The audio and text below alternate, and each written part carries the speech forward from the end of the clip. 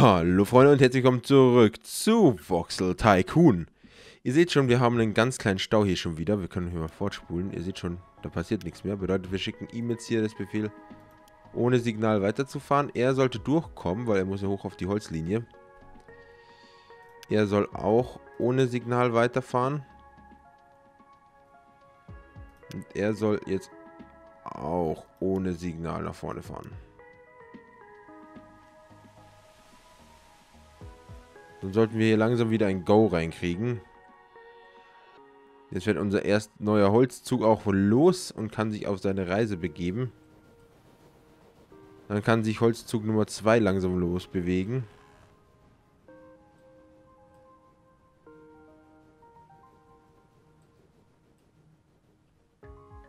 Rein theoretisch müsste ich die ganzen Sachen hier drin raustun. tun.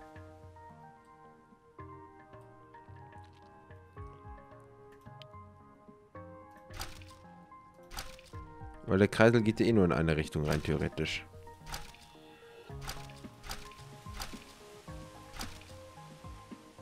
Und so kann sich hier nichts stauen, weil solange einer drin ist, müssen sie stehen bleiben.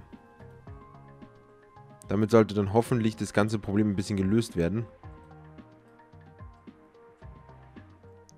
Oh, schade, der Bahnhof ist gar nicht lang genug rein, theoretisch. Und wir haben jetzt noch einen längeren Zug gemacht. Halleluja. Ich meine, ist das jetzt unser längstes Schiff?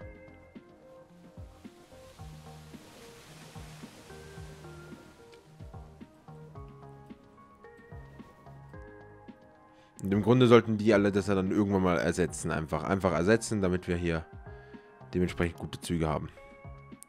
Bin gespannt, wie der hier reinpasst. Ja, gerade so. Der hat auch tonnenweise Holz mit.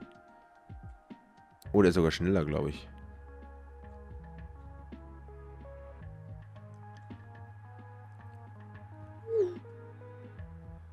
Das ist natürlich mega heftig. Okay, jetzt gehst du hier rüber. Ja, der passt absolut nicht mehr rein. Aber er macht natürlich schön Kohle und tut auch ein bisschen mehr rüber platzieren. Warum auch immer unser, ach, unsere Holzproduktion kann gar nicht weitergehen. Oh, lol. Okay, das habe ich noch nicht ausgeklügelt. Da muss ich jetzt hier ein Signal hinsetzen. Das vielleicht mal nach da setzen, dann kann ich...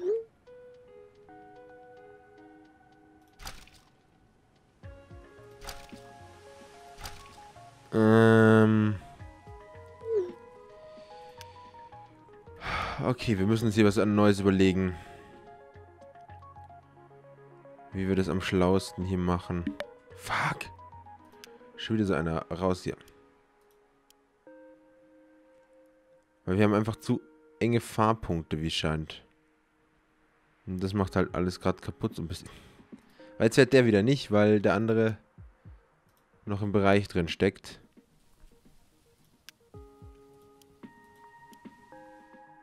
Eieiei. Okay, ähm, schauen wir uns mal das ganze Problem hier an. Wir haben dieses Schienensystem. Rein theoretisch sollte das nach hier drüben gehen. Mit Abzweigung. Was natürlich das Problem ist, wenn wir hier abzweigen wollen. Okay, wir dann Design müssen wir einfach komplett umstellen.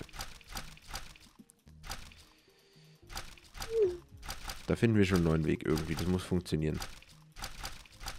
Ich fand die Idee mit dem Kreis mega geil, aber sie scheint ja nicht zu funktionieren. So. Ich würde das auch so lassen.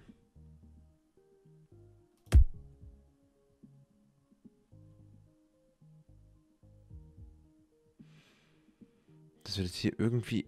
Wie machen wir das am Schloss? Das ist jetzt hier zu eng wieder. Ich fahre hier immer... Wie geht sowas? Wie kann man sowas machen? Mann!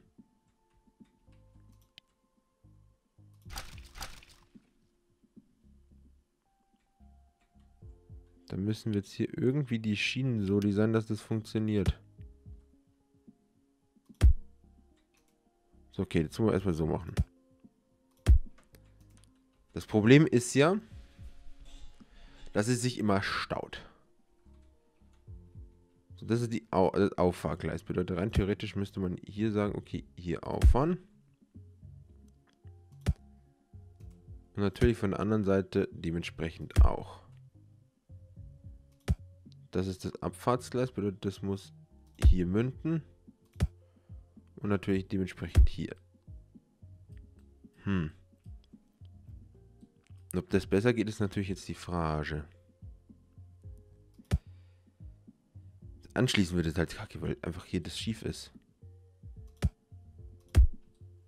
Das geht. Da werden wir jetzt erstmal fahren lassen, kurz.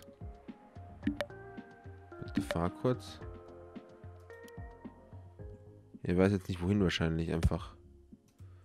Ich bin auch relativ verwirrt gerade, aber ich muss jetzt hier erstmal wieder alles abbauen. Alles mal ein bisschen umdesignen, so. Kann ich irgendwie hier das anschließen? Muss ich jetzt ernsthaft bis hier vorne umdesignen?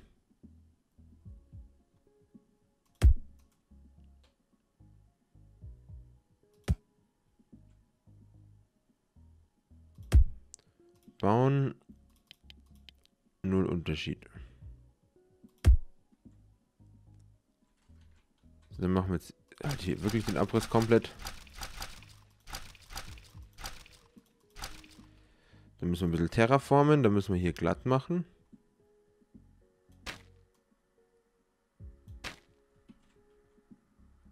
Und dann wieder Schienen legen.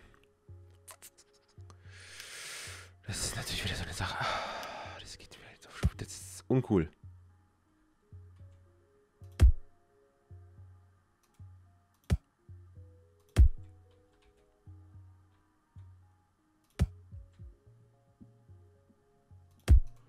Jetzt ist da wieder... Ja, sicher. Das kann doch nur mir passieren. Das sind schon wieder Sachen im Weg. Ah. Nee, nee.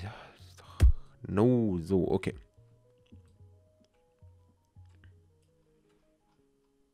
Dann gehen wir mal so dem Schienensystem hier auf den Weg. So, und dann natürlich hier noch dementsprechend die Beschilderung. Ich muss jetzt mal gucken, von wo kommen wir denn, also die fahren wir runter, da fahren wir rauf.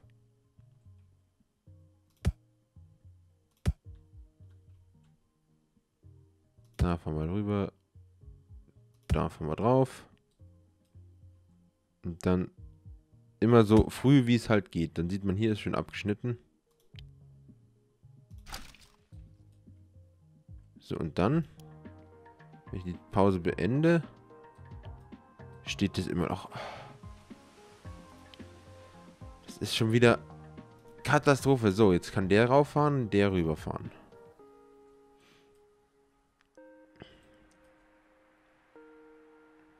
Ne, das geht. Ich hab gehofft, dadurch habe ich es erledigt. Nee, habe ich nicht. wie, wie, wie, wie, wie, wie? Äh, wie mache ich das? Wie mache ich das? Wie mache ich das? Der Bahnhof ist einfach zu nah. Ich müsste eigentlich nochmal eine Rest. Ich habe schon wieder 22 Nachrichten. What?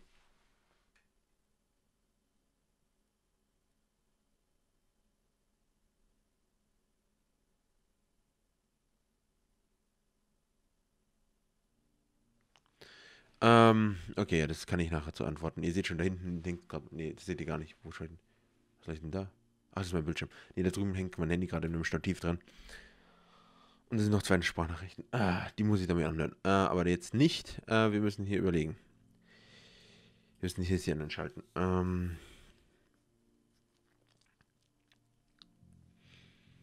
Warum hat es eigentlich hier so interessant gemacht?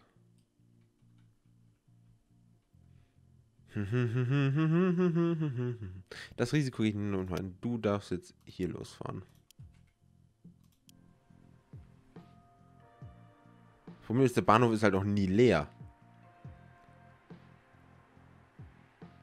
Und wieder das Problem, schon.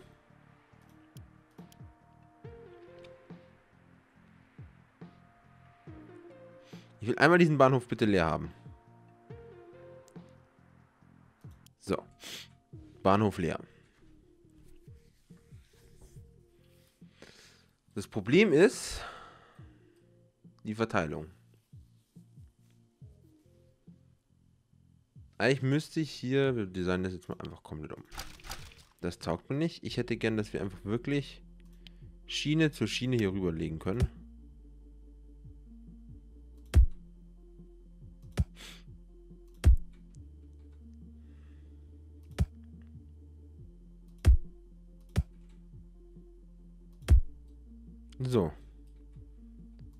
Sind zwar die Schienen kürzer, aber das ist ja eh tendenziell wurscht.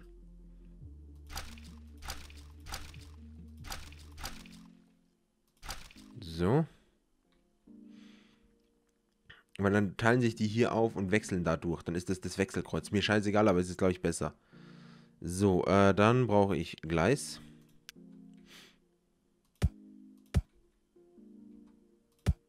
Das kommt auf die gleiche Höhe. Dann brauchen wir ein Vorsignal. Das kommt hier hin.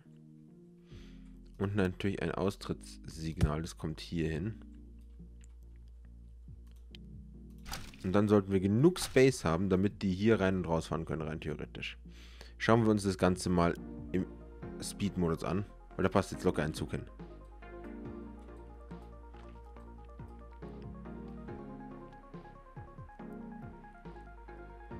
Problematisch könnte es ja nur werden, wenn es hier drin stockt, aber das sollte nicht passieren. Hoffe ich. Das ist vielleicht echt sogar ein bisschen schlauer. Ah. Natürlich, wie ich den jetzt anschließe, ist die andere Frage. Wie schließe ich den an? Ich könnte natürlich ein extra Abfahrgleis machen, ein Anfahrgleis, aber... Ist ja wahrscheinlich auch wieder nicht der Plan eigentlich. Äh...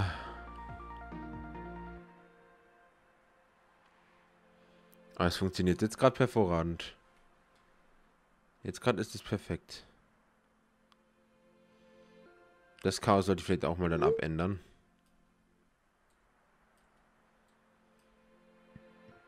Weil das ist ja auch Katastrophe. Da macht man hier links, rechts genau so eine Kreuzung wieder hin.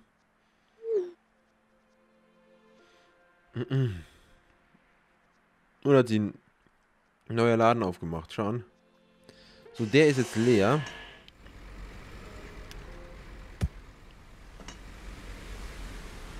Nee, ich würde einfach gern das, nein, ja, okay, machen wir halt so.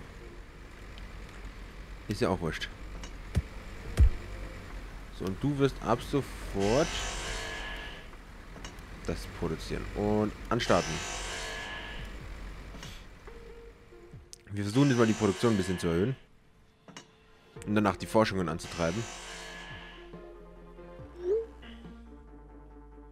Außerdem würde ich einen weiteren Zug von unserer Holzproduktion einsetzen. Wir müssen hier das Depot umsetzen, ganz ehrlich. Das ist so schön, wie da der Platz ist, aber es ergibt da keinen, einfach keinen Sinn. Eigentlich muss er nur hier sitzen und jemand neben auf- und abfahren können, ne? Egal in welche Richtung. Dann kommt hier halt... Ah, jetzt sehe ich hier, was ich hier vergessen habe. Aber das ist ja aktuell noch wurscht. Wir bauen jetzt hier einfach das Depot rein. Da machen wir jetzt eine richtig coole Ecke einfach hin. Wir graben hier eine Ebene aus. Und da kommt das Depot rein. So. Depot.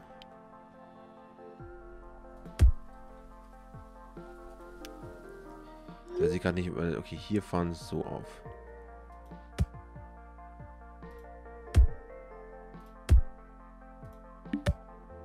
Nope, nicht so.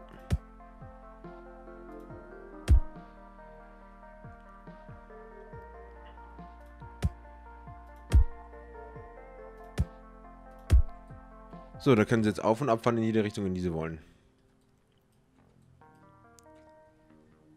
Und dass man das wirklich clear macht,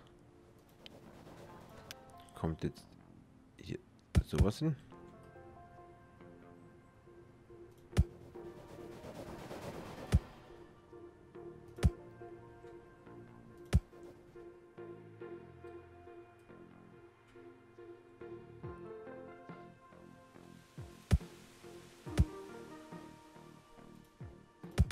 So, schön nochmal Abstände überall reintun. tun. Und ich will gerade, ob ich da noch eins rein. Ja. So.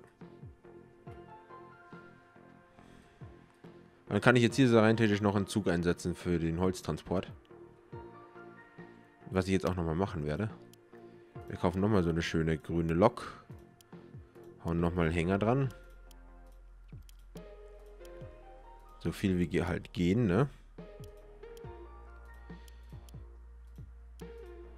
So. Kaufen den. Kann ich den rein theoretisch duplizieren? Nee, schade. Ich fände es cool, wenn du hier so einen Duplizierbutton noch hättest. Das wäre... Das wäre Leben. Und ab geht's. Nächster Zug. Der fällt jetzt hier auf und ab geht's.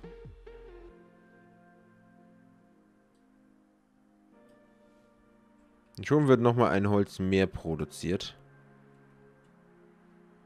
Jetzt haben die sich hier geklockt. Wie haben es das denn jetzt geschafft? Also wie gesagt, wir müssen das System hier mal überarbeiten. Das ist auch Katastrophe. Aber jetzt schaut es aber echt, jetzt schaut es elegant aus.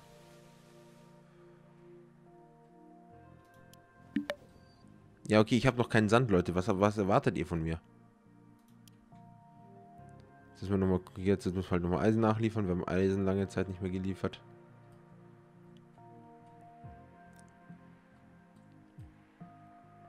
Zug nach Zug kann hier jetzt reinmarschieren. Zack.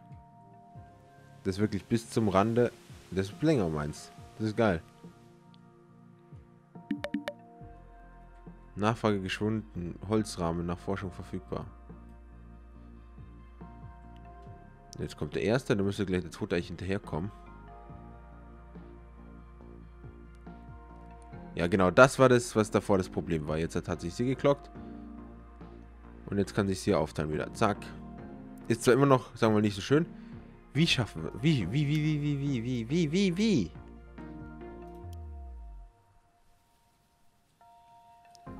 Ich darf einfach zwischendrin nichts mehr platzieren. So schaut aus. Pausieren. Und ja, aber Leute, das machen wir in der nächsten Folge. Ich hoffe, es gefallen. Wenn ja, lasst unbedingt den Daumen nach oben da. Abonniert, wenn ihr noch nicht habt.